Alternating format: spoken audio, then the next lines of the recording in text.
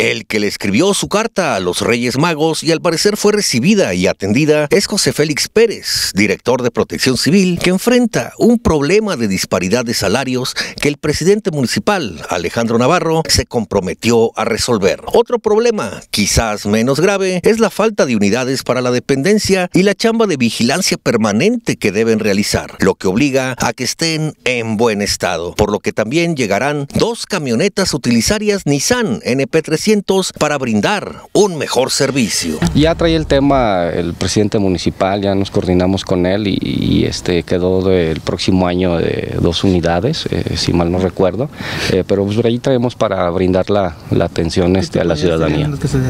Eh, si mal no recuerdo son Nissan NP300. ¿Ambulancias no? Ambulancias de momento no, estamos bien con las dos que, tenemos, están este, al 100 y, este, ahorita es lo que requerimos nada más unidades de utilitarias. Hizo un inventario de las nueve unidades con las que cuenta Protección Civil y destacó que las ambulancias están al 100, por lo que de momento no van a llegar nuevas, pero aclaró que de su flotilla a veces hay bajas por cuestión de descompostura, como en este caso, que apenas estarían saliendo dos del taller en estos días. Tengo nueve, nueve, unidades, dos ambulancias, una cuatrimoto, la lancha, el motor y... ¿No está debajo de ninguna? De momento no, ahorita se encuentran algunas en el taller, ya, ya si mal no recuerdo, el día de mañana ya salen dos que tenemos por ahí en el taller por el tema de suspensión. Para el sistema de noticias de TV Guanajuato, con imágenes de Alejandro Abundes, informó Denec Insunza.